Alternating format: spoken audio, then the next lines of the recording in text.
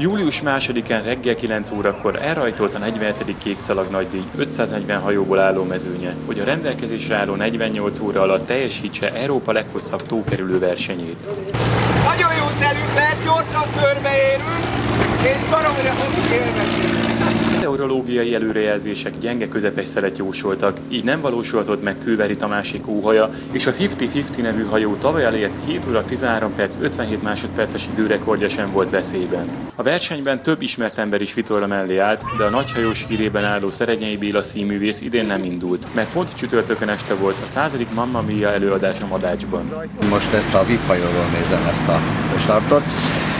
Szerintem hosszan ott fogunk átsorogni, ahogy ellátom a Balaton.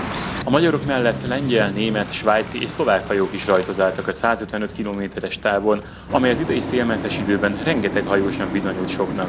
Józsa Márton, a csúcstartó hajó kormányosa megérkezés után is emiatt tartott az idei versenyt nehéznek. Én nem is tudom, hogy mikor volt utoljára ennyire szél nélküli kék szalag.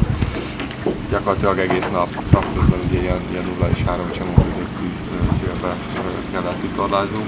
Éppen egy, egy nagyon fárasztó verseny volt.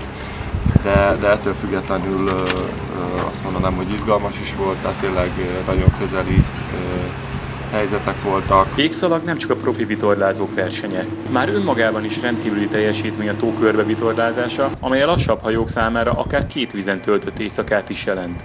Arra lehetett számítani, hogy egy, egy nagyon szoros verseny lesz. Ugye már az előrejelzések alapján is látszott, hogy, hogy egy gyengeszeles kék szalag lesz az idén.